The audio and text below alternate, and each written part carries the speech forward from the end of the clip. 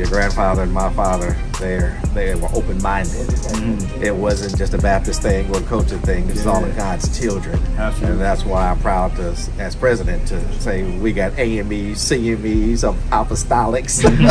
we've got Baptists, we got Church of God in Christ. Yeah. We've got non-denominational working together for the cause of Christ.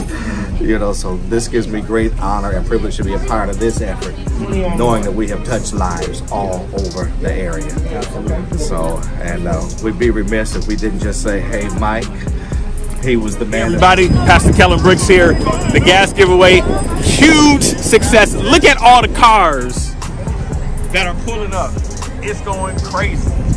Listen, people getting prayer, people getting gas, filling the tanks, and filling the souls. That's what it's about today, all right? Appreciate y'all.